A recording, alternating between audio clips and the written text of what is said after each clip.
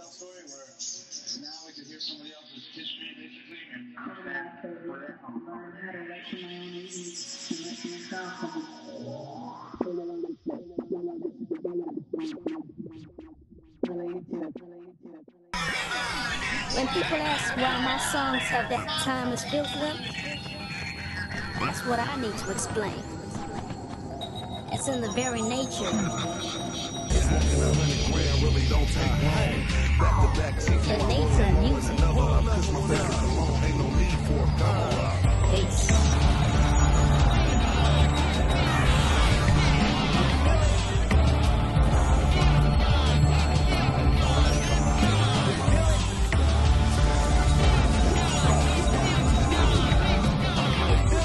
Finding what's happening now with that mesh of styles. He's mixing electronic, country, uh, rap, rock and roll, everything. Everything. He's throwing the kitchen sink in.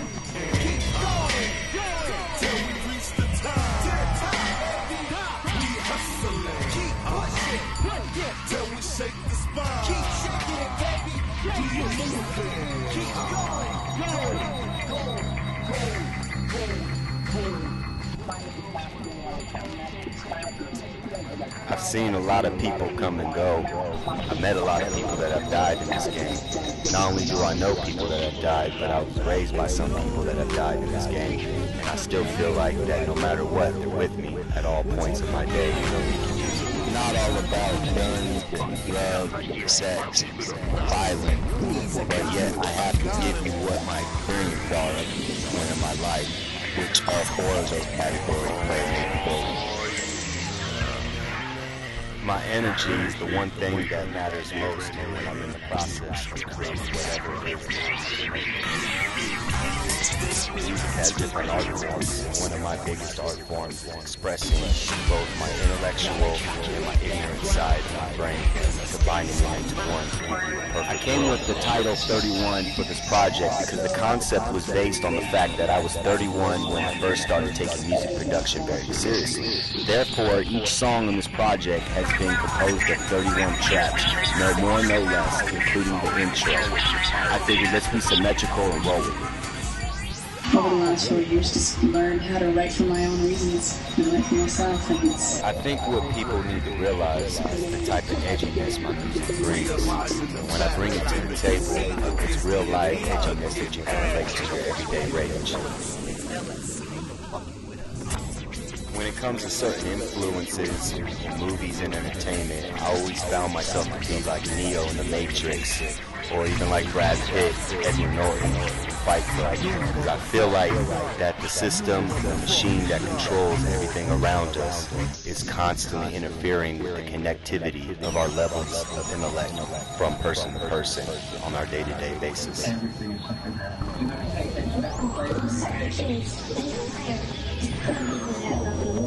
When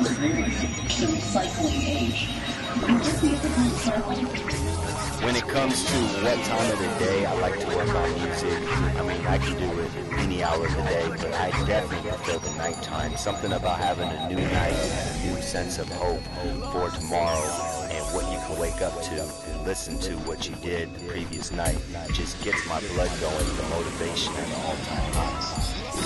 My message to anybody that's listening to this album is that I want you guys to walk away feeling like we're really serious about the musical goal and that we really put our life into the music instead of just trying to put the music into our lives. Hopefully, taking a glimpse of us will give you a better understanding, a better feel of where we're coming from. This is the kind of music I who doesn't like it, and I'm not gonna sound like anybody else. This is who I am.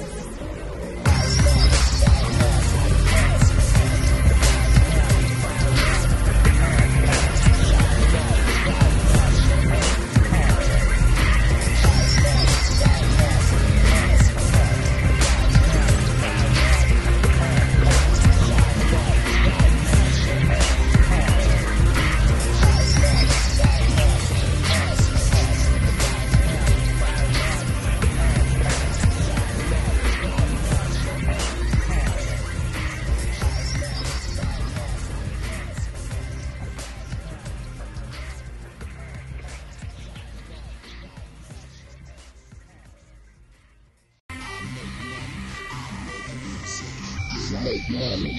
Make music. Make money. Make music. Make money. Make music. Make money. Make music. Make money. Make music. Make money. Make music.